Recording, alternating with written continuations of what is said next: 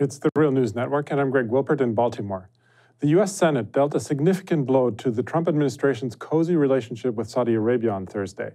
Senators voted to oppose a recent $8 billion arms deal with Saudi Arabia and the United Arab Emirates. U.S. weapons law, export law, requires Congress to approve of all arms sales. However, a provision in the law also allows sales to move forward without congressional approval if, quote, an emergency exists which requires the proposed sale in the national security interest of the United States. Trump invoked that national emergency last month with respect to Iran, and therefore the sale was able to move forward. Thursday's Senate vote intends to block the sales despite the national emergency declaration. Opposition to the administration's support for Saudi Arabia has been growing in Congress as the war in Yemen becomes an ever greater humanitarian disaster. Latest estimates indicate that over 100,000 civilians have been killed because of the war in Yemen and millions more on the brink of starvation. Also, Saudi Arabia's suspected murder of the journalist Jamal Khashoggi in Saudi Arabia's consulate in Istanbul last October has turned many in Congress against the U.S. ally. Joining me now to discuss the congressional efforts to stop U.S. support for Saudi Arabia's war in Yemen is Hassan El Tayyab. Hassan is co director of the Washington, D.C. based organization Just Foreign Policy. He recently wrote an article for the website Truthout titled, Congress Can End the Yemen War This Summer Despite Trump. Thanks for joining us again, Hassan. Thanks, Greg. So, there are three types of uh, congressional efforts to halt the slowdown uh, or halt or slow down the U.S. support for the war in Yemen. Let's take each one of these one at a time. Now, sure. the first one is uh, the resolution that just passed the Senate. It now goes to the House, which will probably pass there. However, Trump is no doubt going to veto it. Veto it. Uh, what then? Uh, is there a possibility that Congress could override the veto? Well, there's always the chance that Congress could override uh, a veto. Um, this is a bipartisan effort where Republicans, Democrats, and Independents are coming together to do this. Uh, but it's going to be uh, definitely a challenge. 53 senators voted to uh, block this emergency arms sales to Saudi Arabia and the UAE, I might add, who are heavily involved in this war. Um, so, barring that, the Congress actually has another opportunity. They could actually attach this a similar provision, which actually already happened in the in the House uh, earlier this week they attached a bill that would do an amendment to the national defense, sorry, um, defense appropriations bill to um, to do a similar thing to block arms sales to Saudi Arabia. And what's special about this is it's pretty much a must-pass bill. So. Uh, I think it's going to be a lot harder for the Trump administration and for Trump to veto this effort if um, if they go through, because that would re- basically mean a government shutdown. Well, yeah, and that, I guess that touches also on this, this other effort, which would uh, try to block funding for the U.S. support in uh, the war in Yemen. Uh, now, uh, the, that is to go also go through the National Defense Authorization Act uh, to support those funds from going uh, to the U.S. military to support that war effort. Yeah. Now, talk about that and um, what can basically, what, how is that going to happen? when might that happen? And what are the chances? Yeah, so it's a it's a little confusing trying to understand how the defense budget works. So it's kind of broken into two pieces. You have uh, defense appropriations bills. So basically, they decide on you know what's getting you know what's getting funding and how much funding they get, and then there's a National Defense Authorization Act. So there's really two chances here. Um, so the defense appropriations are uh, actually just passed. It was, I believe, like 640 plus billion dollars just got approved of spending to support the defense budget. Um, and in that has already passed two amendments and which are good for allies that want to end the war in Yemen. Uh, one was uh, an amendment by Ruppersberg, uh, um, representative from Maryland, to cut off all logistical support to the coalition. Uh, and another amendment attached to that was the Lieu Amendment, which would go after arms sales and stop arms sales from uh, proceeding. And then a uh, third would, was an amendment by Representative Connolly. And you mentioned Jamal Khashoggi earlier. He's actually, Representative Connolly is the Virginia Virginia representative, that representative Jamal Khashoggi, um, and he attached a, an amendment that would block uh, military, you know, any international military training for Saudi Arabia. So that those are already passed through the House. Uh, they need to reconcile with the National Defense Authorization Act, and then of course um, that's just the House side. It has to reconcile with whatever. Um, NDAA or defense appropriations bill that the Senate passes. And we're going to figure this all out hopefully by the end of July. Um, and Congress has till uh, the Congress and the administration have till October 1 to decide on this budget and to, to push it all through. Now, another path for halting U.S. support for this war is via the invocation of the War Powers Act.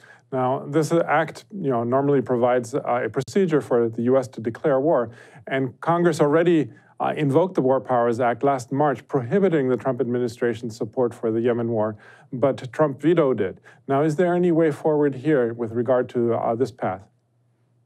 Yeah, so um, like you mentioned, there was a veto. The veto override effort failed, uh, but Senator Bernie Sanders, who's the original author and lead co-sponsor, lead sponsor of that bill, SJ Res 7, uh, said the same day as the veto override failed that he would potentially use the War Powers Resolution again.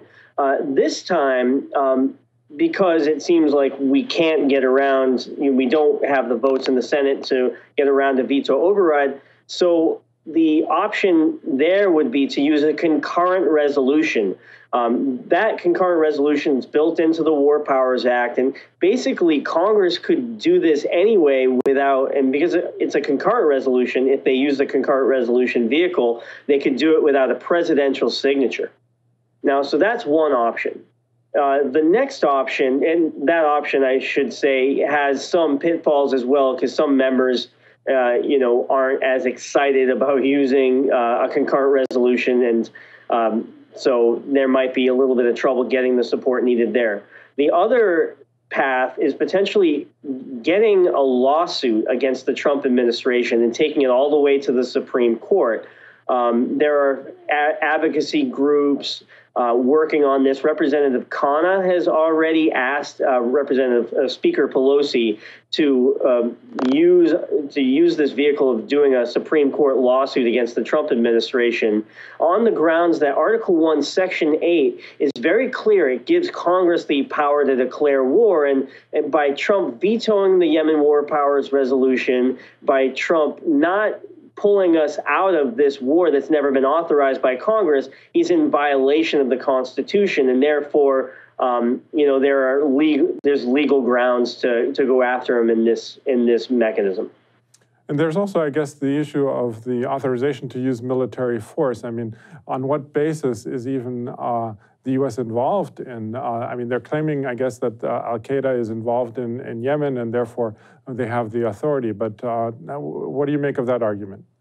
So it's really this is when you're kind of unpacking so much of this. Uh, so the 2001 AUMF author, authorized use of military force against terrorists basically was the blank check that Congress gave the. It wasn't intended to be a blank check, but that's how it was interpreted by uh, Bush, Obama, and Trump at this point. And that was to go after Al Qaeda in different areas around the Middle East including Yemen. And so Obama started this horrible drone war against, um, you know, people in Yemen, a lot of collateral damage. Trump has continued that. And I think it's important for your audience to know that that's actually a completely separate war from what we're talking about when we're invoking the Yemen War Powers Resolution. Uh, we're specifically going after Saudi Arabia's um, airstrike air campaign over over Sana'a and the Houthi held territory, which has not been authorized by Congress. So that has nothing to do with um, our drone warfare against Al Qaeda. And actually, in the Yemen War Powers Resolution, there was a uh, a carve out, we call it, to for us to continue our you know campaign against Al Qaeda. I think it's worth noting. You hear that Iran is you know somehow you know working with Al Qaeda. You know out the Pompeo and Bolton are talking about how that's the 2001 AUMF is uh, you know, pretext for us going after Iran and said we don't need congressional authorization because apparently they already had it. Well, that's completely ridiculous because Iran and Al Qaeda are in no way uh, working together. But I think it's kind of interesting the hypocrisy of it because Saudi Arabia right now is working with Al Qaeda in Yemen and their anti Houthi army. Uh, so I just think there's so many layers of hypocrisy here. Now, finally, on Thursday, actually, the same day that the Senate voted to ban arms sales to Saudi Arabia and the UAE, the government of Britain decided to halt all of its arms sales to Saudi Arabia. That is uh, because a court ruled there that exporting arms to a country that is at war is illegal. Now, unfortunately, I believe that the US does not have such a law, but do you think that the announcement um, uh, of the government in, in Britain might influence Republicans to vote against uh, US arms deals uh, or the funding of US military support for Saudi Arabia? It's really interesting that these should happen on the same day. Uh, I think it shows that there's growing momentum all around the world to um, cut off Saudi Arabia and the UAE's horrible, illegal uh, war in Yemen that are, basically have brought excuse me, 14 million people to the brink of famine, 1.3 million cases of cholera, 10,000 new cases each week. Uh, you know, roughly 100,000 children under the age of five have already starved to death. So it's just this horrible war. The, the fact that the UK is using the courts to say, you know, we need to put a pause on arms sales to Saudi Arabia are, are potentially sets a legal precedent that we could follow in in Congress in um, in America. So I think you know that just helps the case. I think it also puts a little bit of pressure on Speaker Pelosi to potentially use, uh, you know, going to the Supreme Court, filing a lawsuit against the Trump administration. So I think it, like I said, it sets a little bit of a legal precedent there. Okay, well, we're going to leave it there for now, but we're going to continue to follow the story as we have been. I'm speaking to Hassan El Tayyab, co director of the organization Just Foreign Policy. Thanks again, Hassan, for having joined us today. Hey, thank you so much. And thank you for joining the Real News Network.